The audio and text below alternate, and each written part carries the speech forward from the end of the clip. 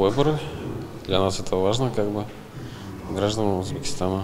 Рузи Мухаммад живет 19 лет в Альметьевске. Раньше, чтобы проголосовать, ездил к себе на родину в Узбекистан. На это у него уходило пару дней, приходилось брать отпуск на работе. Теперь все гораздо проще, поэтому и на голосование Рузи Мухаммад пришел не один, а вместе со своей семьей. В Альметьевске, да, сделали то, что уже не надо езжать в свою страну, чтобы голосовать.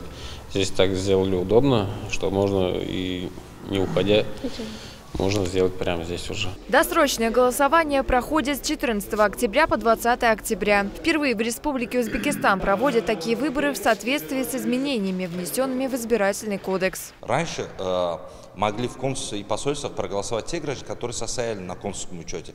А сейчас в связи э, введенными изменениями избирательный кодекс все граждане Республики Узбекистан имеют право проголосовать посольствах и консульских учреждениях, независимо от того, что стоят они на консульском учете или нет. На территории Республики Татарстан временно проживают около трех тысяч граждан Узбекистана, и это только студенты. В Альметьевских выборах участвовали около 200 жителей Узбекистана. Для того, чтобы проголосовать, у избирателя должен быть при себе паспорт гражданина Республики Узбекистан. Основные выборы пройдут 24 октября в городе Казани. После Альметьевская избирательная комиссия отправилась в Изнакаево. Рената Столярова, Ильнур Залятов. Новости Юго-Востока.